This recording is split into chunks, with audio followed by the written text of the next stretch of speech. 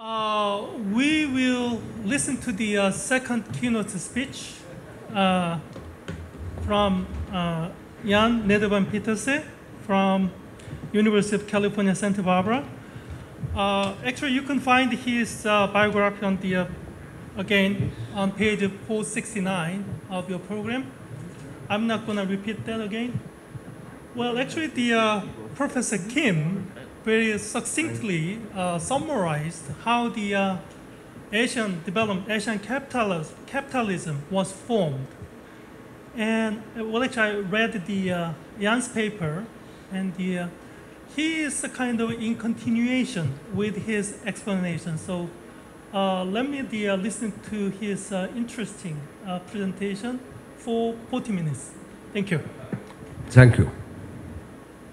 Distinguished colleagues, old friends, it's a pleasure to see you again.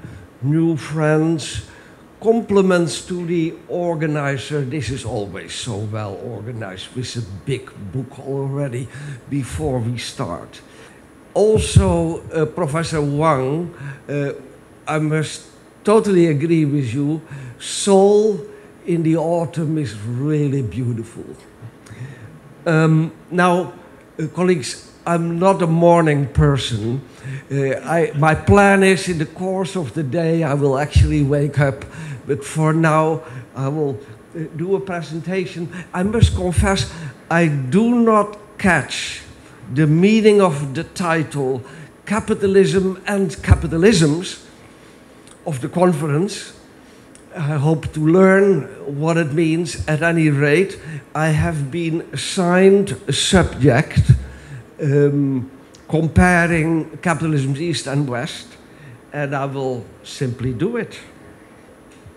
Now, the usual arguments here that there are several families of capitalism, major families, Nordic capitalism, Anglo American, uh, East Asian developmental states, uh, China, many other variations, and tools, uh, instruments of analysis are varieties of capitalism, comparative capitalism's approaches, thick business studies, and the classic categories we know are uh, the liberal market economies, coordinated market economies, and state-led market economies. This, by the way, is a little overview of the discussion some of the headings of the slides will, will walk through this as we go along. Now, liberal market economies we typically find in the United States, Australia, New Zealand, the UK. Coordinated market economies, very broadly in many regions, West and East state-led market economies, well, Singapore, China, Vietnam, Laos, North Korea, Russia, Cuba, Venezuela, Iran, the Emirates, Saudi Arabia, uh, probably one or two more. At the same time, they are all, of course, mixed economies. Now, if we follow Polanyi and many others, markets, of course, are embedded in society. And by the way, as I think about this, I think this is probably the most important slide in this presentation. Immigrant societies, settler immigrant societies, highly individualized, are liberal market economies typically post-feudal societies, pardon the, eh, the shorthand, there's a longer story there, are typically coordinated or state-led market economies. Post-revolutionary societies, societies after war, after crisis, are state-led. Now, within each, there is also a time series that we can apply. There's regional differentiation and time differentiation. So, in the United States, of course, after crisis, a New Deal, after the war, Keynesianism, and also Fordism was a major episode.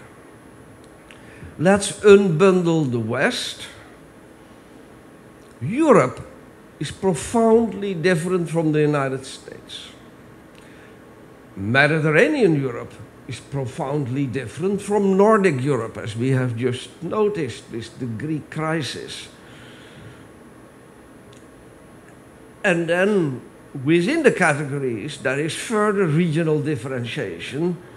For instance, the American South, the land of Dixie, slaveholding confederacy in the past is very different from the Northeast, now also called the Rust Belt, etc.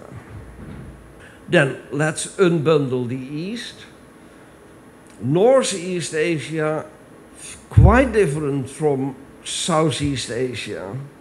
In fact, now for a year, I'm in Kuala Lumpur in Malaysia to direct a research project on comparing Northeast Asia, Southeast Asia, partly on the premise that Mahathir in the early 80s initiated the policy of looking east, which meant look at Japan, then meant look at Korea, and this research project is about looking at when we look north to Northeast Asia in 2015, what do we find? Um, China has elements arguably about no both Northeast Asia and Southeast uh, uh, Asia. We find in China multiple capitalisms, state owned enterprises um, small and medium enterprises, the local cor corporates, and foreign direct investment cooperating with, with all of them. Now, Northeast Asia is very different in its organization from the United States. In fact, arguably, Northeast Asia, in remarkable ways, matches Nordic Europe. The Gini coefficients um, I found it a bit difficult to put tables and figures in PowerPoint, so I didn't do it. You know, it's a bit of work, so to speak. At any rate, let me assure you, you look at the Gini coefficients of Scandinavia and Nordic Europe, and they are between 0.25 and 0.30. You look at the Gini coefficients of Northeast uh, Asia, include Japan, Japan, Korea, Taiwan, and the Gini coefficients are 0.30, 0.31 in that neighborhood. This is very striking. Um, per capita incomes uh, are comparable, urbanization rates are very high. Also striking is the salient prominent role of, of the state, of labor unions, and generally a matrix of coordinated market economies that follow models of Japan, and Japan in turn historically followed models of Germany. Another achievement of Northeast Asia, so Northeast Asia has industrialized with internationally competitive um, industries. It has done so with low Gini coefficients in a relatively egalitarian way, and it has consolidated its democracies. And we could also describe these societies as post-feudal, high social cohesion, a social market approach, similar to Europe. Now, before continuing in some specifics, may I suggest, even though it is early in the morning, that we take a step back and ask the question why is it that in the debate on capitalism, we are mesmerized by the singular? Even in the title of this conference, it was not sufficient to say capitalisms, we must also say capitalism. Why do we do this? So, remember Borges. The map is not the same as the territory because otherwise the map would be very large. Now, in relation to culture, it's very easy. I think it's very easy. I think for, for all of us, most of us, very easy. Yes, there is transnational culture. There's a global cultural supermarket with confetti of all sorts of components. There is Hollywood, Walt Disney, CNN, McDonald's, even McDonaldization, Barbie, and so forth. And we all recognize there is Bollywood, there is Hallyu, there is Japanese design, there are Turkish soap operas, um, Brazilian sambo, flamenco, tango, and so on and so forth. And West African high life, it's all there.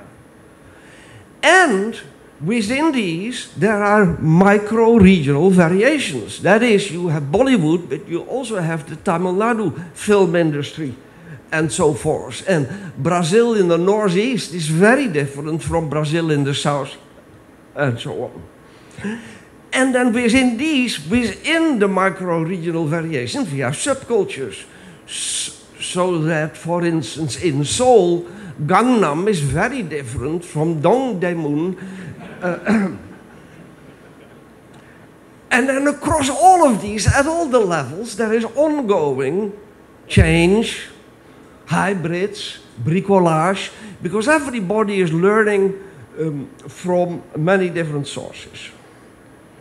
I think for all of us it's easy to recognize this. It's easy to hold many balls in the air and to juggle them.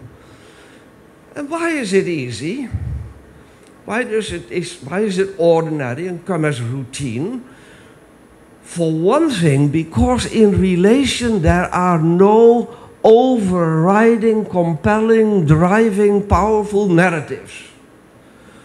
Or those that did exist, say the romantic views of Herder or Carlyle, 19th century, ideas of race, Orientalism, civilizational views, a la Toynbee or later Huntington, they have all more or less faded. Compare capitalism. In relation to capitalism, we do have two major variables powerful narratives and powerful drives. The narratives, 19th century theory, 20th century, 21st century, Piketty's book Capital in the 21st century. Among the drives, technological change, um, information communication technology, Silicon Valley, but of course we know that the tech change is multicentric. It doesn't just come from one source. Um, financialization is multicentric as well. There is Wall Street, London, Frankfurt, and so forth, but there are also the sovereign wealth funds Norway, the Emirates, and so on and so forth, generating new financial corridors and principles of organization. Then, of course, there is the hegemonic pressure that we all know the Wall Street Treasury IMF complex, the Washington consensus, now no longer a consensus, but metamorphosed to WTO and now TPP TIPP, etc. And plenty agencies, McKinsey, uh, PricewaterhouseCoopers. I'm in Malaysia, and Malaysia just published its 11th Malaysia Plan. It's a big book, uh, very well produced with uh, visuals. It has been written by McKinsey because of these powerful narratives and drives, we have very salient, very prominent, it dominates in several literatures, the ideas of convergence. Um, and part of this is the idea of global capitalism, global plutocracy, transnational capitalist class, which sometimes I refer to as the leap to the global, global culture, global modernity, global crisis, global financial crisis, global economics, global brands, global, global everything. Here's the idea of neoliberalism everywhere.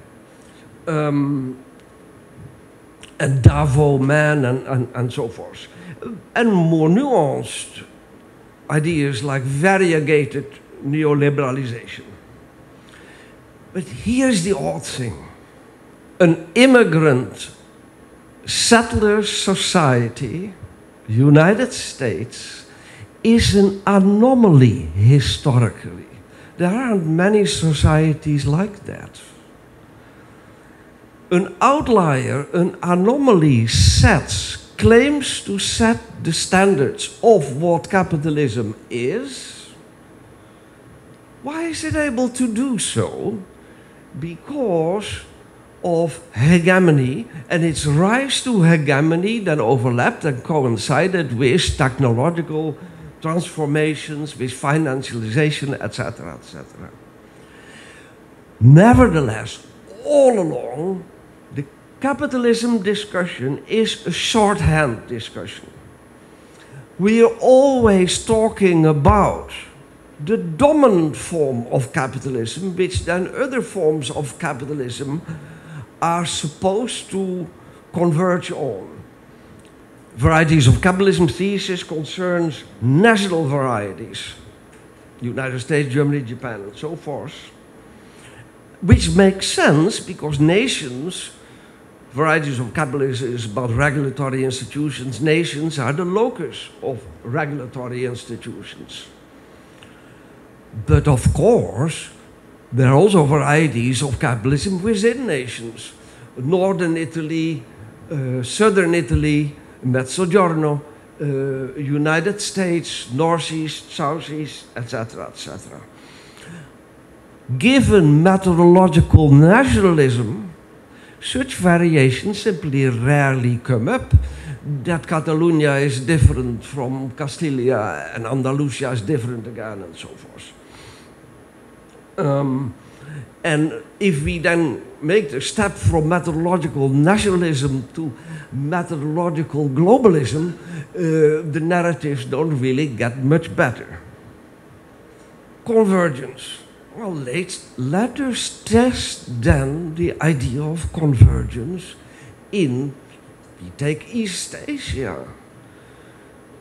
Can Southeast Asia is it converging upon Northeast uh, Asia? Can tiger cubs become tigers? And the work which we are now doing in Malaysia, and in cooperation with other colleagues, is the general theme is East Asia mind the gap. And the gap is, is dramatically large because the three achievements of Northeast Asia mentioned, mentioned earlier Southeast Asia has been missing out on all these achievements. And you may simply be aware. Think of Southeast Asia. Can you think of one internationally competitive industrial brand? You cannot. Um, Gini co co coefficients are 10 points higher, around the 40s uh, democracies consolidating, I think we should better change the subject. Two countries in Southeast Asia approximated the Northeast Asian um, project closest. And there were Indonesia with aircraft and automobile manufacturing, and Malaysia with automobile manufacturing, the Proton car project of Mahathir. Read the quote 5 October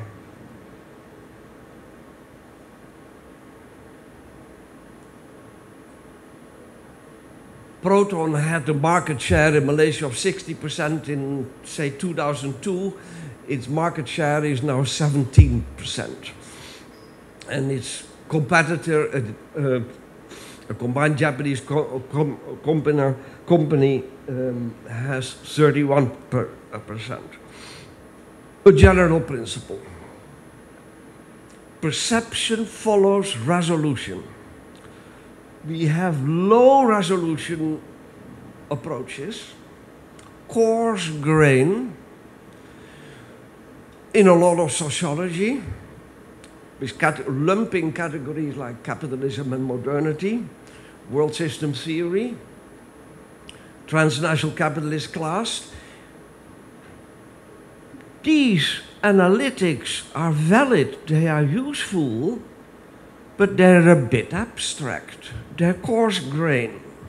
Wolfgang Streeck, with his category of OECD capitalism, uh, that, that combines the Atlantic and the Pacific in a nice sweep, it has a validity, but it's coarse grain. High resolution pictures have proven to be much more insightful, persuasive, um, instructive in anthropology, in thick business studies, and in some forms of uh, geography where people work on the, on the interactions between the local and the global. Um, another dimension we can take into account, uh, Professor Kim, you were referring to it, uh, selective learning. Um, if we make the difference from being hybridized, undergoing hybridization influences, to hybridizing, exercising agency in hybridization processes, so that borrowing becomes willed, selective, then say in Asia, from Meiji Japan on onwards, you were referring to it, um, this has been a pattern um, in Asia. And in relation to markets, this implies a partial and an instrumental embrace of markets. Markets, we will encourage them as long as they contribute to various di dimensions, which is the general approach in uh, East Asian developmental states. It is the general approach in uh, emerging market developing countries it is a very different approach to markets than the market fundamentalism, faith in markets, efficient market theory, and so on and so forth of the Chicago School and in Anglo American cap capitalism. there is a narrative that goes with this picture, um, but I've forgotten what the narrative is.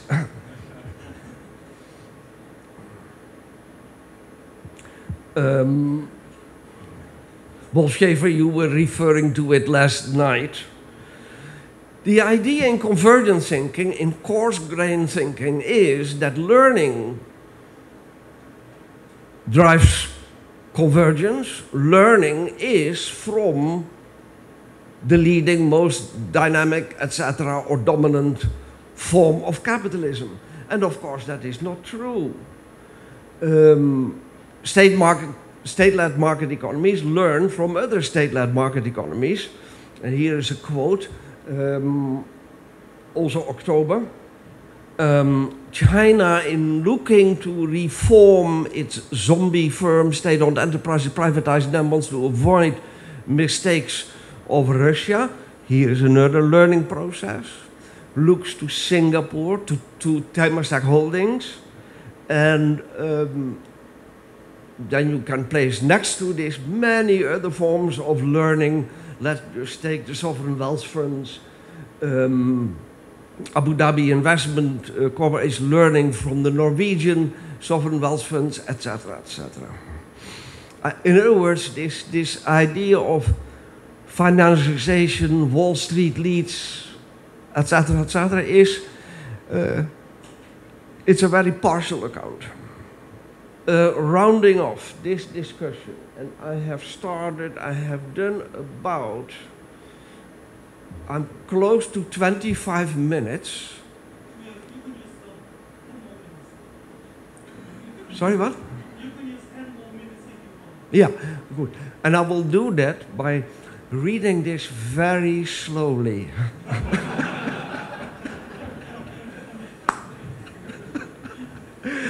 Look, uh, rounding off now, and then please let us have a conversation and, and, uh, and a wider dialogue. Um, when we talk about this, why does it matter? For what reason is this important?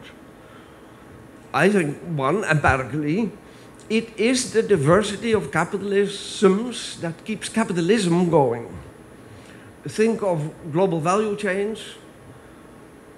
They exist, and the splicing up of production com com components works, is meaningful, because it relates to economies at, at different levels and with different organization systems on the part of corporations, there is institutional arbitrage. Um, Mexico has these forms of labor organization. Um, Colombia has these forms of environmental pro protection, etc. And there is a balancing taking, taking uh, place. Another noteworthy point is the dramatic, wide diversity in patterns of inequality. Mentioned earlier, Nordic Europe, Gini co co coefficient, 0.25, 0.30. You look at the United States, it's up in the, in the 40s. Um, Northeast Asia matches Nordic Europe, which is one of the reasons, not just people's admiration for Samsung products, but it's one of the reasons why people look up to Northeast Asia as another torch bearer of an alternative and more social form of capitalism. And we would wish that Southeast Asia could match this. It has been trying for, for 30 years. It, it's not really happening. Um, then we think of social struggles if capitalism is all the same, if our premise all along is it is convergence, convergence, convergence, then why would all the social struggles matter? So I think it is in light of these considerations that it is important for us to look at capitalisms in the plural, worldwide, in East Asia, and in the West as well. Um, and on that note, I want to thank you um, with a blessing, namaste greeting from a dear child in Nepal.